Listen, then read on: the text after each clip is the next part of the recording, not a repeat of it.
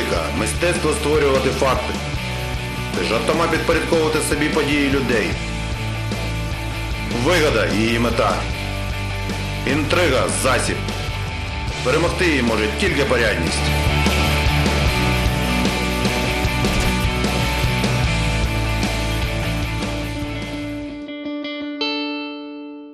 Добрый вечер, уважаемые телезрители. В эфире программа «В деталях». И с вами в этот пятничный вечер ее ведущий Андрей Острев и Игорь Пох. Здравствуйте.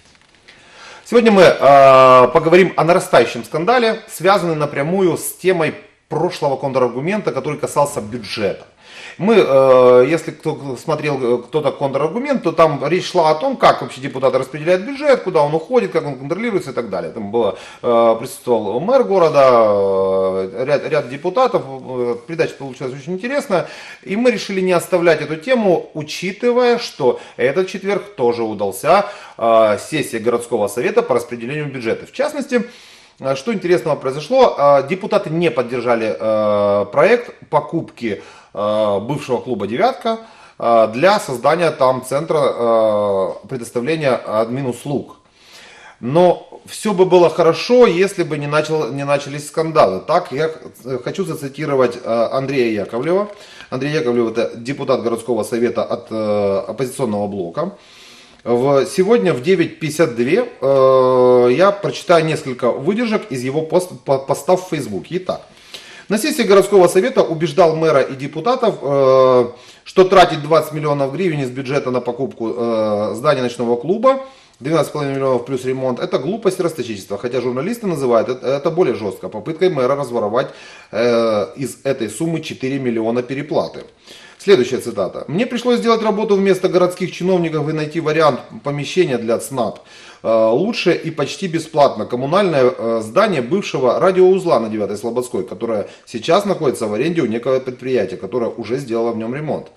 Следующая цитата. А вот лидер фракции мэра, прошу обратить внимание на формулировку, лидер фракции мэра Федор Панченко взялся за расследование и вскоре сообщил депутатам о, том, что, о том, что ценное городское здание передано в аренду депутатами прошлого созыва, не забыв при этом обвинить депутатов от оппозиции в том, Э, что это оказывается мы 4 года назад отдали это помещение в аренду 4 года назад. Это когда такой партии, как оппозиционный блок, еще не существовало.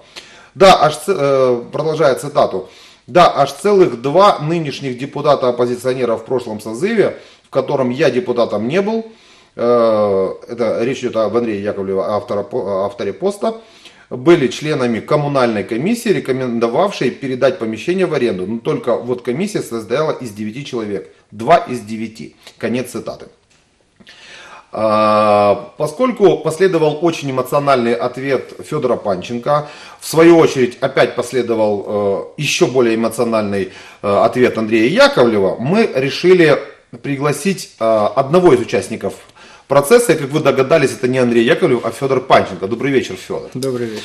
А, что же там у вас, что же там произошло? Почему такое, почему, почему, такое, почему такое пристальное внимание именно конкретно вот к, это, к этой проблеме? Ну, то есть тему 4 миллионов, которая вот э, напрямую обвиняет э, Андрей Яковлев вас, и мэра в том, что вы пытаетесь, пытались э, с помощью откатов вывести 4 миллиона.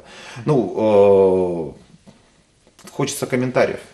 Ну, во-первых, я хочу заявить о том, что никакого отношения к проект, данному проекту решения там, и конкретно к вот этим пунктам я не имел и даже, собственно, не видел их до последних суток перед сессией, э, так как не являюсь э, ни участником комиссии по ЖКХ, ни участником бюджетной комиссии. На что хотелось бы обратить внимание, что бюджетная комиссия в полном составе вместе с оппозиционным блоком э, согласовывали этот вопрос. Более того, насколько мне известно, э, мэр вел э, разговоры с главами фракций, то есть предупреждал об этих планах. Это, ну, это серьезное решение для города, что ЦНАП будет находиться, где именно и так далее, в том числе и с Игорем Сергеевичем Дятловым, который в том числе ну, заранее говорил о том, что он одобряет и поддерживает этот шаг.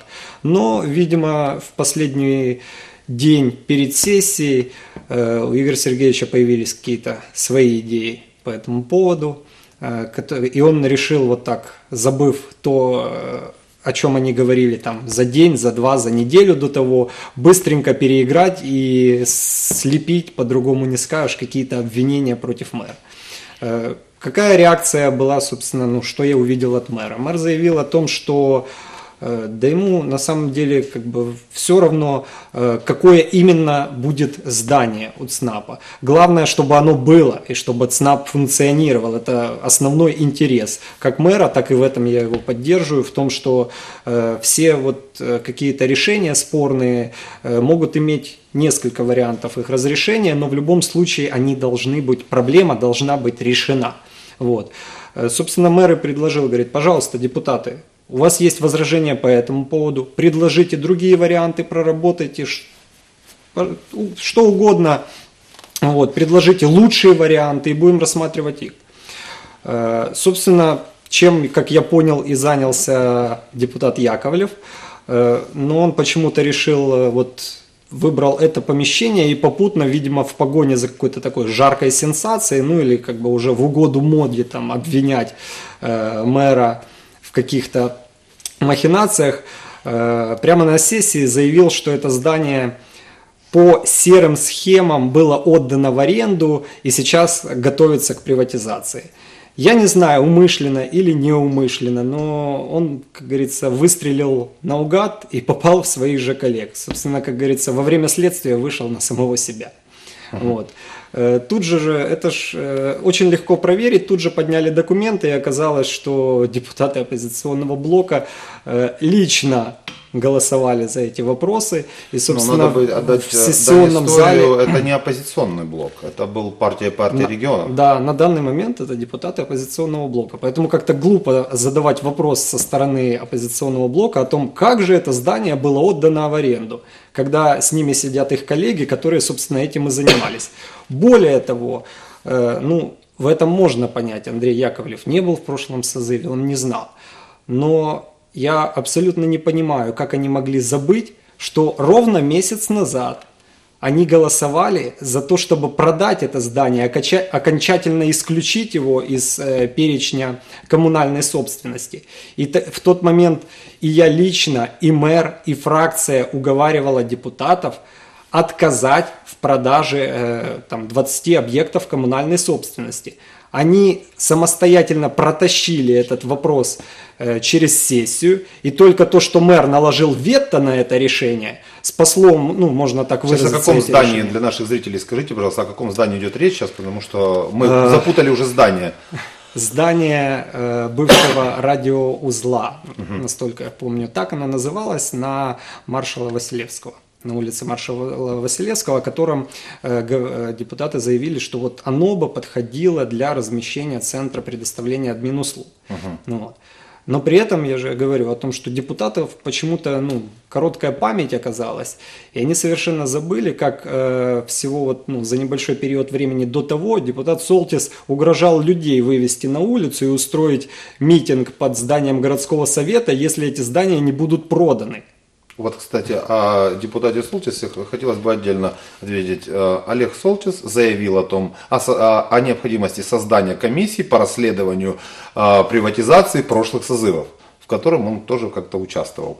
Ну, собственно, в общем, все разворачивается крайне интересно. Э, я напомню нашу прошлую программу с, с вашим участием. Мы говорили о том, к чему приведет назначение, например,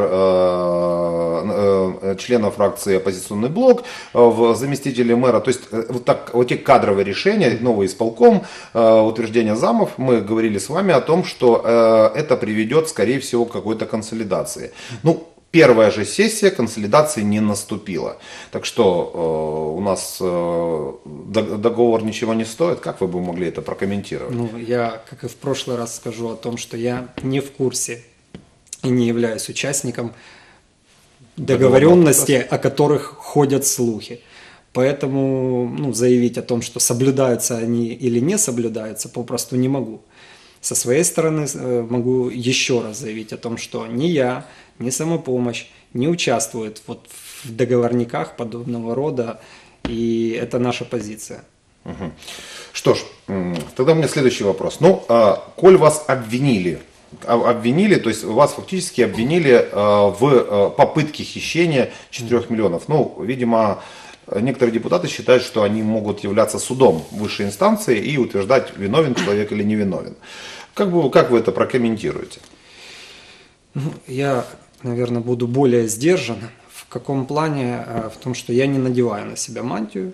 Ну вот, то, что я, то, что очень не, не понравилось депутатам, это то, что я конкретно назвал фамилии, которые есть по факту в документе, не утверждая, что там есть или нет чего-то незаконного. Э, Некоторые депутаты, как говорится, разошлись в обвинениях, обвиняя, ну, дошли до того, что я же говорю, начали обвинять своих однопартийцев, коллег и так далее. И последнее, что я видел в результате э, голосования по бюджету, обвинили его э, Солтиса, его же однопартийцы в том, что он э, хотел также приложить руку к какому-то расхищению бюджета. Думаю, это ну, весьма веское основание для того, чтобы пригласить э, этих депутат, всех депутатов, участников этого конфликта на комиссию по депутатской этике и антикоррупционной деятельности и спросить у них более конкретно, без э, каких-то огульных обвинений, а в чем конкретно заключается э, попытка расхищения или еще что-то, пожалуйста, дайте факты. И мы обязательно на них отреагируем. Я думаю, абсолютно депутаты всех фракций поддержат это. Окей. Э, ну, э, скандалы это хорошо, но большие скандалы это еще лучше, да? Вот Для вас? для нас, безусловно. Э, Потому что это, э, это есть повод э, для обсуждений широких и, и незаангажированных. Так вот, по поводу вчерашней сессии. Вчера на сессии произошло еще одно чудесное совершенно событие одно, одно из голосований, которое ну, нормального человека в принципе может повергнуть просто в шоковое состояние. Хотя э, достаточно много, много людей, я так думаю, не э, понимая сути вопроса и не разобравшись в вопросе, да, с удовольствием воспримут это как должное и даже как некую победу. Э, я имею в виду голосование за некий введение моратория на повышение тарифов инициированная, э, насколько я помню, депутатом оппозиционного блока, уж извините, Игорем Копейкой. Вот. И э, это голосование э, поддержали практически все депутаты городского совета. В том если я числе помню, фракция «Самопомощь». В том числе фракция самопомощь, да. Из 44 депутатов 41 проголосовал за, если я точно помню цифры. Вот. Э, Ну, у меня, у меня как бы два, два направления. Я попытаюсь со своей точки зрения объяснить нашим зрителям, во что это в принципе может вылиться, а вы, как депутат и юрист, скажете свое веское слово, э, собственно, что это такое и, и что происходит. Вот смотрите, значит, э, депутаты проголосовали э, против повышения тарифов. Это э, включая э, те, те тарифы, которые были э, с 1 июля, как бы должны э, вступить в силу. Это включая тепло, это включая газ, там, электроэнергию и так далее, и так далее. А, Берем только тепло, то есть самый массивный тариф. Значит, э, я просто взял на себя труд по буквально там 10 минут э, поискать, сколь- э, поискать в интернете информацию о том, сколько в Николаеве жилья, вот квадратных метров жилья в общем.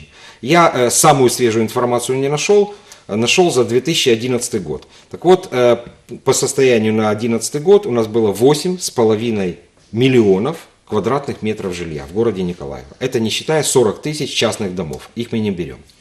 Теперь э, дальше. Значит, э, сейчас уже начали многие получать э, платежки за тепло. Счетчики не включили, то есть там максимальный тариф стоит. То есть средний тариф 50 гривен за квадратный метр жилья. Это очень много. Э, путем нехитрых умножений у меня получилось, вот если 50 гривен умножить на 8,5 э, миллионов э, метров жилья, квадратных метров жилья, получается 425 миллионов гривен. Э, Если убрать половину, то есть гипотетически предположить, что во всех домах стоят теплосчетчики, просто половину из этого, да, получается 200 миллионов, грубо говоря, умножаем на 6 месяцев отопительного сезона, и у нас получается сумма 1 миллиард 200 миллионов гривен. Бюджет города состоит из 3 миллиардов гривен. Так вот, я хочу сказать уважаемым зрителям, что поддерживая подобное голосование, Вы должны понимать, что если вдруг депутаты голосуют против тарифов, то они должны быть готовы эти деньги, вот эти почти полтора миллиарда, половину бюджета, выделять на вот эти вот так называемые субсидии, да, или компенсацию. Ну вот, теперь ваше слово. Ну, Что это такое? Что, что я могу сказать по поводу самого решения? Э, Во-первых, э, для нас, для фракции «Самопомощь», когда мы обсуждали проект этого решения, ну, хотя хочу сказать, что подготовлено оно было, по сути, на коленке, как я понял, потому что раздавалось в последний момент, и мы его изучали уже вот буквально там за а, короч- кратчайший промежуток времени до голосования. Это был просто запрос на наше отношение э, к той тарифной политике, которая на данный момент действует. Считаем ли мы, что тарифы на данный момент подъемные и адекватны? Нет, мы так не считаем. Считаем ли мы, что нужно что-то предпринимать по этому поводу? Абсолютно согласны и нужно по этому поводу что-то предпринимать. Согласны ли мы с тем, что можно вот просто так взять и решением городского совета запретить применять тарифы? Э, Это Нет, не не в- согласны. не в компетенции Нет, просто, не да? согласны. Вот. Так же, как нельзя решением городского совета запретить курсу гривны падать. Ну, вот. Э, А не было Если- такого решения случайно за инициативой? ну, Тоже именно интересно. такое и было. Ага, курсу гривны не падать. Нет, про курс гривны не было, а вот про тарифы было. Вот. Мы э, неоднократно заявляли, вот у нас же это не первое э, решение уже городского совета по тарифам, о том, что чтобы реально изменять ситуацию, надо понимать, по какому механизму фер- э, формируются тарифы, и тогда ты понимаешь, в какую точку нужно бить, чтобы их изменять. Э, Просто запретив, к примеру, э, теплогенерирующим компаниям на местном уровне применять эти тарифы, во-первых, они не будут этого выполнять, и городской совет никак на это не повлияет. Во-вторых, даже если бы мы их принудили вынудить, мы бы исключительно, как говорится, угробили эти предприятия и без того, которые еле-еле дышат. И все. От этого лучше бы не стало. На данный момент у нас есть монополист по подставке энергоносителя на государственном уровне, который, собственно, и формирует э, тарифную политику по всей стране. Вот. И от его воли во многом зависит э, подача тепла, опять же, по всей стране, свидетелями чего мы все, собственно, и стали. Когда э, городские службы были готовы для включения тепла, а, как говорится, газа не было, соответственно, и включать-то было нечего. Вот. Э, Вот вопрос в том, чтобы разобраться с монополистом, это действительно корень проблемы, э, с которым нужно работать. Насколько мне известно, э, монополист подал отчетность в этом году за 6 месяцев о прибыли в 21 миллиард гривен. Хорошая прибыль. Это только за 6 месяцев. Хорошо, Сократив давайте эту мы- прибыль давайте как мы- раз, давайте мы можно сейчас было бы сыграть на тарифах. Федор, смотрите, давайте мы несколько уйдем от, э, ну, скажем, таких глобальных рассуждений. Давайте вот, э, смотрите, вот Игорь посчитал, э, в принципе, очень, очень правильно и веско, посчитал, сколько бы обошлось такое решение депутатам, депутатам городского совета. Ну, для, для того, чтобы еще нашим зрителям рассказать более подробно. То есть из трех миллиардов выделяются деньги там, на, на социальное обеспечение там, малоимущим, образование, Зарплаты медицина, бюджетникам. зарплаты бюджетникам и так далее. То есть э, человек говорит, мы, ну, то есть чел- человек выдвинул такую, такую позицию. Конечно, мы все против тарифов, ну, против роста тарифов. Ну, а в идеале вообще против тарифов любых, чтобы вообще ничего не платить, да. Но э, если говорить серьезно, то есть горсовет фактически говорит, мы против, и од- одним из вариантов решения это компенсация с городского бюджета. То есть давайте мы, э, грубо говоря, заберем половину всего, чего у нас и так не хватает, мы останемся там без дорог, без крыш, без, э, Без зарплат. без зарплат, без э, части медицины, без части там э, детских учреждений и так далее и тому подобное, но зато мы вот зато мы будем сидеть в тепле. Может быть это и выход. Ну, по крайней мере, как, как по мне, достаточно абсурдный, но депутаты у нас веселые решения принимают, поэтому я ничему не удивлюсь, собственно говоря, это такой ну, небольшой троллинг. А если давайте, давайте представим себе такое, э, с другой стороны посмотрим. Ну, в принципе, это, наверное, мнение громады, да. Ну, оно и так понятно, но еще депутаты это закрепили каким-то документом. Да?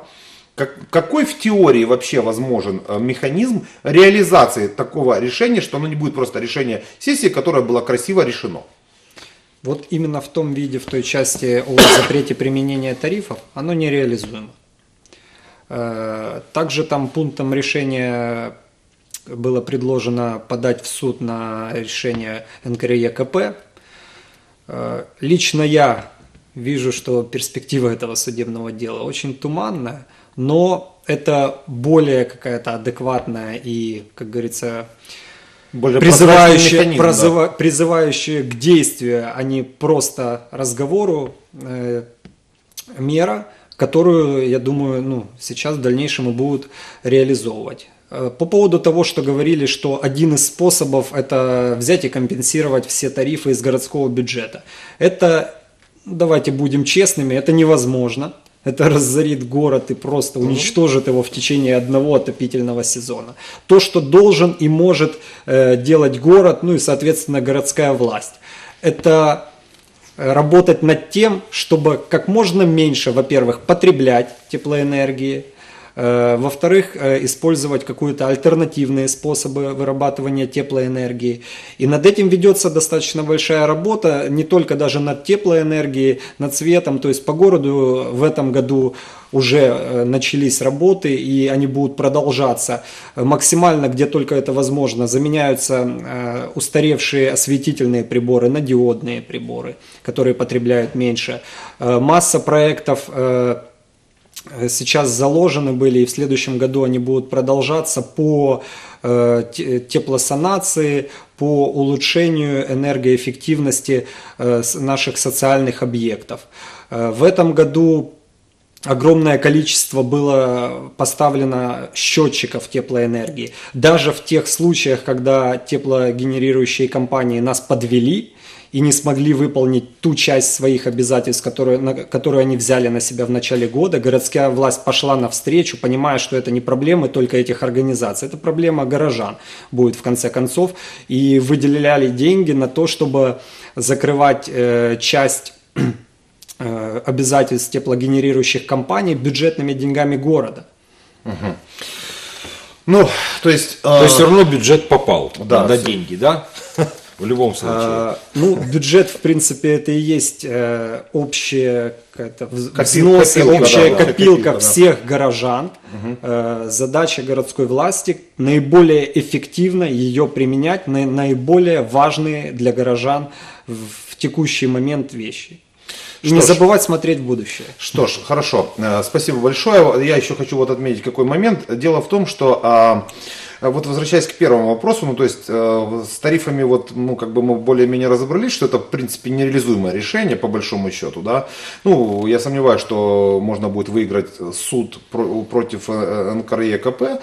Ну, может быть в теории такое и произойдет, хотя я очень сомневаюсь, потому что это государственная политика, собственно, и Гройсман заявил о том, что мы будем платить э, э, цены европейский э, и в качестве дотации будет э, вот, э, ну, предназначена Субсидия. субсидия да. А, Возвращаясь к первому вопросу. Э, Не так давно Горсовет принял такое решение об, а, разорва- э, а, разорвать, разорвать договор аренды с новой заправкой ВОК. Но заправка работает. И решение есть. А не будет ли такая судьба с этим же зданием, которое на 9 Слободской, которое писал Яковлев в своем посте? Ну, во-первых, я хотел бы уточнить, наверное, заправка ОККО. О- Око, око, я прошу прощения, ну я их немного путаю. Карпенко. Ну, смотрите, э, я как юрист э, часто сталкиваюсь с непониманием со стороны людей, э, которые не связаны с этим процессом. Они не понимают, почему вот нельзя взять бульдозер, поехать и что-то вот немедленно снести и сделать. За любой кар- красивой картинкой, когда кто-то вот там в течение пяти минут что-то или строит, или сносит и так далее, стоят годы юридической работы. На самом деле, наверное, это даже хорошо, что власти не могут просто по своей прихоти и по мгновенному решению сносить и решать судьбу каких-то объектов, потому что иногда э, быстрые решения бывают ошибочными. Вот. По поводу э, здания на ген- э, 9 марш- Слободской было написано, да. Ну, это, да, маршала, маршала Василевского. Василевского, э, ну, депутат проявил инициативу. Я надеюсь, что он, как говорится, не сдуется, разберется в ситуации, покажет всем, в чем именно заключалась там серая схема, выведет на чистую воду всех, кто был к ней причастен, вне зависимости от партийной принадлежности. Ну, и мы в этом его поддержим. Хорошо, тогда просто вот, э, буквально э, 30 секунд программы. Да, да нет. А, возможно, э, существуют ли инструменты, которые способны вот у арендатора забрать это здание? Суд. Только, только через суд. Суд. То есть это, а, это длительный процесс. Это если- длительный судебный процесс. То есть э, в случае, если вы- выбрать этот вариант, то года через два, в, случае, в лучшем случае, мы начнем там ремонт. С учетом того, что там, насколько мне известно, был проведен ремонт, то года через два городской бюджет может из-за этого очень сильно пострадать э, на некоторую сумму денег. Компенсируем. Да. Что ж, все, спасибо большое. Мы так вот во время практически уже даже перетягиваем немножко. А, Ну, собственно, мы пытались раскрыть некоторые детали вчера, происходящего вчера э, сессии Горсовета. Вот два этих вопроса нас очень заинтересовали. Мы в них разобра- пытались разобраться в деталях. Я надеюсь, э, вы получили пищу для размышлений. На этом мы хотим попрощаться. Спасибо, Федор, за то, что пришли, ответили на наши вопросы. Э, Ну и спасибо э, уважаемым зрителям за то, что были с нами. До следующей пятницы. До свидания.